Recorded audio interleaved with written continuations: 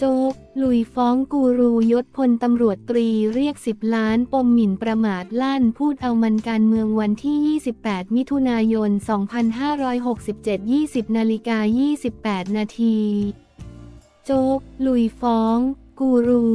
ยศพลตำรวจตรี เรียก 10 ล้านบาทปมหมิ่นประมาทลั่นพูด เอามันไม่รู้กฎหมายจริงศาลนัดไต่สวนมูลฟ้องวันที่ 16 กันยายนนี้วันที่ 28 มิถุนายน 2567 ที่ศาลอาญากรุงเทพใต้พลตำรวจเอกสุรเชษฐ์หักพานรองผู้บัญชาการตำรวจ เดินทางมายื่นฟ้อง กูรูด้านกฎหมาย ซึ่งเป็นอดีตตำรวจยศพลตำรวจตรี ในข้อหาหมิ่นประมาทด้วยการโฆษณา จากกรณีจงใจใส่ความต่อบุคคลที่สามทำให้ถูกดูหมิ่นเกลียดชังทำให้ประชาชนเข้าใจผิด พร้อมเรียกค่าเสียหายสิบล้านบาทพลตำรวจเอกสุรเชษฐ์เปิดเผยว่ากูรูท่านนี้ถือเป็นคนที่สองที่ฟ้องหลังจากนี้จะเดินหน้าฟ้องกูรูอีกสองคนรวมถึงนายกรัฐมนตรีโดยจะเร่งให้แล้วเสร็จภายในสองสัปดาห์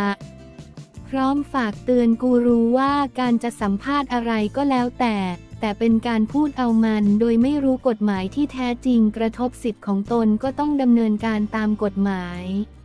โดยเฉพาะกูรูที่อายุมากแล้วไม่ควรพูดให้สังคมสับสน แต่ควรอยู่ให้เป็นที่เคารพสักการะของเด็กรุ่นใหม่พลตำรวจเอกสุรเชษฐ์กล่าวต่อว่า สาเหตุที่พลตำรวจเอกต่อศักดิ์สุขวิมลผู้บัญชาการตำรวจ และพลตำรวจเอกกิตรัฐพันเพชรรองผู้บัญชาการตำรวจ ไม่ยอมเพิกถอนคำสั่งเพราะทำใจไม่ได้ว่าตนทำผิดไปแล้วอาย เขาจึงไม่กล้ากลืนน้ำลายตัวเอง แต่เมื่อกฎหมายใหม่ออกมาก็ควรยึดตามกฎหมายใหม่ ไม่ใช่ไปยึดตามกฎหมายเก่าส่วนตนจะได้กลับไปสำนักงานตำรวจแห่งชาติ หรือมีแสงสว่างที่ปลายอุโมงค์หรือไม่นั้น ตนก็สู้ตามหลักกฎหมายจะได้กลับ หรือไม่ได้กลับก็ขึ้นอยู่กับหลักกฎหมายพลตำรวจเอกสุรเชษฐ์กล่าวอีกว่าตนไม่ได้ไปขอร้องหรือร้องไห้ให้นายกรัฐมนตรีหรือบุคคลใดมาช่วย ตนเพียงเดินตามหลักกฎหมายครั้งที่แล้วที่ตนถูกโยกย้ายไปช่วยสำนักนายกรัฐมนตรี ครั้งนั้นถือว่าหนักกว่าครั้งนี้ เพราะตนต้องไปเป็นข้าราชการพลเรือนเลย ตนไม่เคยขอให้ใครช่วยเช่นกัน มองว่าไม่ได้เป็นการแพ็กรวมเอาทั้งองค์กรมาสู้กับผมเพียงคนเดียว เพราะในแพ็กมีอยู่ไม่กี่คนแม้ในแพ็กนี้จะเป็นผู้มีอำนาจ แต่ต้องอยู่ภายใต้กฎหมายทุกวันนี้โดนรุมกินโต๊ะจีนอยู่แล้วต่อสู้อย่างโดดเดี่ยวอยู่แล้ว แต่มีไม่กี่คนที่ทำ ปัจจุบันประชาชนเริ่มมองเห็นแล้วว่าเกิดอะไรขึ้น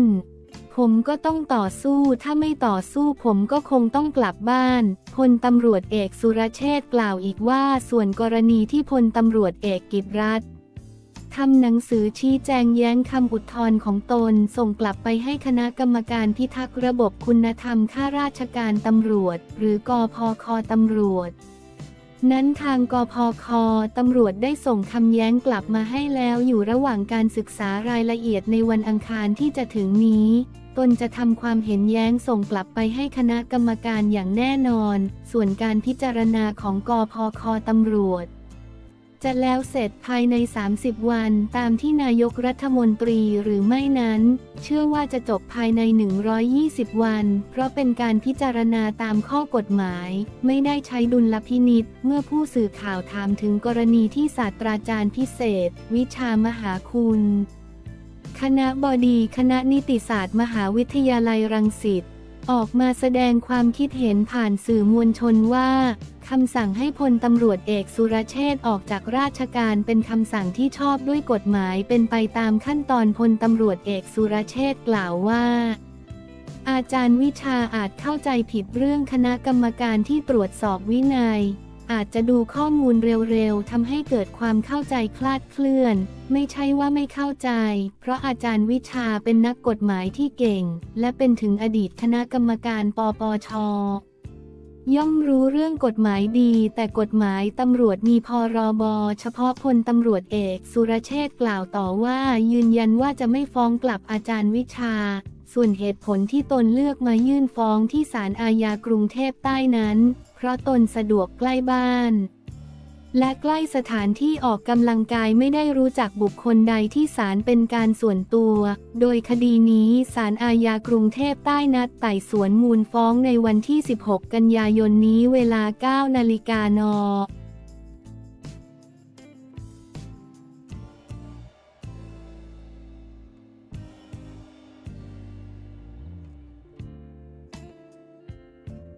ซูเปอร์เล็กใช้ลูกเก่าอุ่นเครื่องชนะคะแนนก้องธรณีศึก ONE ลุมพินี 68 ONE Championship วันที่ 28 มิถุนายน 2567 23นาฬิกา13 นาที ซูเปอร์เล็กเกียรติหมู่เก้าแลกอาวุธดุเดือดก้องธรณีสอ สมหมายเอาชนะน็อกไปในการชกกติกามวยไทยรุ่นฟลายเวท ONE ลุมพินี 68 ที่เวทีลุมพินีเมื่อวันที่ 28 มิถุนายนที่ผ่านมาซูเปอร์เล็ก ซึ่งมีคิวจะขึ้นชกป้องกันตำแหน่งกับโจนาธานแฮกเกอร์ตี้ในกติกามวยไทยที่จะจัดขึ้นที่ Ball Arena โคโลราโด สหรัฐอเมริกาในวันที่ 6 กันยายน อุ่นเครื่องกับก้องธรณีนักชกรุ่นน้องเกมการชกเดือดขึ้นในยกสองต่างฝ่ายต่างพลาด เตะกระจับกันไปคนละทีในจังหวะเตะพับในก้องธรณีไม่ได้เกรงกลัวศักดิ์ศรีแม้จะโดนขวาของซูเปอร์เล็กดักต่อยเป็นระยะระยะ แต่ก็เดินหน้าแลกสับศอกใส่ซูเปอร์เล็กจังๆ แต่ซูเปอร์เล็กก็สวนด้วยการจามศอกขวาเข้าสู่ยก3ซูเปอร์เล็กเป็นฝ่ายเดินค้ำและศพช่องจิ้งขวาเข้าหน้าทำเอา ก้องธรณีชะงักแต่ก็มีสวนแข้งซ้ายจนซูเปอร์เล็ก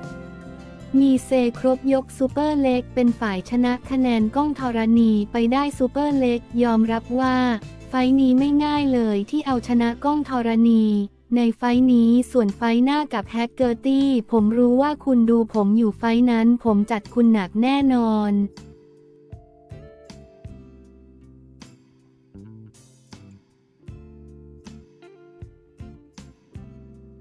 ทักษิณชมผลงาน THACCA แนะโปรโมทอาหารย่านเยาวราชเกาะกระแส MV Rockstar ของลิซ่าการเมืองวันที่ 28 มิถุนายน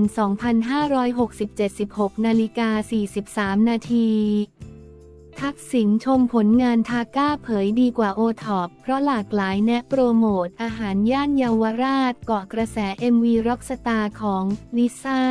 เมื่อเวลา 14 นาฬิกา 30 นาที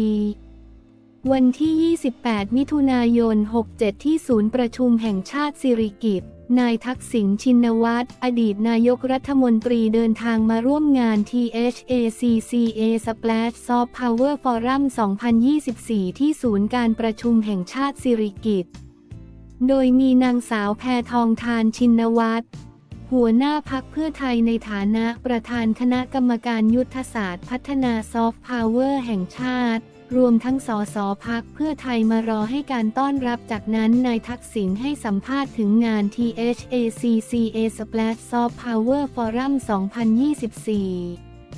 ที่พัฒนามาจากนโยบายหนึ่งตำบลหนึ่งผลิตภัณฑ์ จะให้คำแนะนำอย่างไรว่าต้องการพัฒนาศักยภาพของคนไทยให้มีรายได้ที่ดีขึ้น เพราะจริง ๆ แล้วคนไทยมีฝีมือเยอะ แต่อาจถูกใช้งานแบบค่าจ้างขั้นต่ำ ทั้งที่เขาควรได้รับค่าจ้างที่ดีกว่านี้ และมีโอกาสในชีวิตที่มากกว่านี้ โดยซอฟต์พาวเวอร์จะทำให้คนที่เก่งมีโอกาสมากขึ้น เมื่อถามว่าซอฟต์พาวเวอร์ต่างจากโอท็อปที่เคยทำในอดีตอย่างไร นายทักษิณกล่าวว่าโอท็อปมันแคบกว่าและเป็นการทำงานด้านฝีมือด้านหัตถกรรมด้านอาหาร แต่ซอฟต์พาวเวอร์มีมากกว่านั้นทั้งด้านดนตรีและกีฬา เกม เมื่อถามว่าเห็นความเปลี่ยนแปลงที่ต่อยอดมาจากโอท็อปที่ห่างหายไปนานแล้วรู้สึกอย่างไรบ้างนายทักษิณกล่าวว่าโอท็อปฟื้นได้ไม่ยากภายหลังนายทักษิณให้สัมภาษณ์นางสาวแพทองทานเป็นผู้พาเดินชมบูธภายในงาน โดยนายทักษิณได้เยี่ยมชมการแสดงคัพเวอร์แดน พร้อมให้คำแนะนำว่าอยากให้ดึงความเป็นไทยมากกว่านี้ ไม่เช่นนั้นจะเป็นการเรียนแบบการเต้นของศิลปินเกาหลีจนมากเกินไป จากนั้นนายทักษิณได้เดินมาเยี่ยมชมนิทรรศการอาหาร พร้อมบอกกับนางสาวแพทองธารว่าให้เตรียมโปรโมทอาหารที่เยาวราชหลังจากที่มิวสิกวิดีโอเพลง Rockstar ของลิซ่าแบล็คพิงที่ปล่อยออกมาเมื่อเช้านี้ ผู้สื่อข่าวรายงานว่าตลอดการเดินชมนิทรรศการได้มีประชาชนและนักเรียนที่มาร่วมงาน เข้ามาขอถ่ายภาพร่วมกับนายทักษิณเป็นจำนวนมาก ซึ่งนายทักษิณใช้เวลาเดินเยี่ยมชมงานกว่าหนึ่งชั่วโมงก่อนจะเดินทางกลับในเวลา 15 นาฬิกา 40 นาที โดยนายทักษิณได้กอดและหอมแก้มลานางสาวแพทองทานขณะที่สอแพทองทานได้กอดและหอมแก้มนายทักษิณกลับ ผู้สื่อข่าวได้สอบถามกับนางสาวแพทองทานว่าได้ชมมิวสิกวิดีโอของลิซ่าแบล็คพิงแล้วหรือยังนางสาวแพทองทาน กล่าวว่าได้ชมแล้ว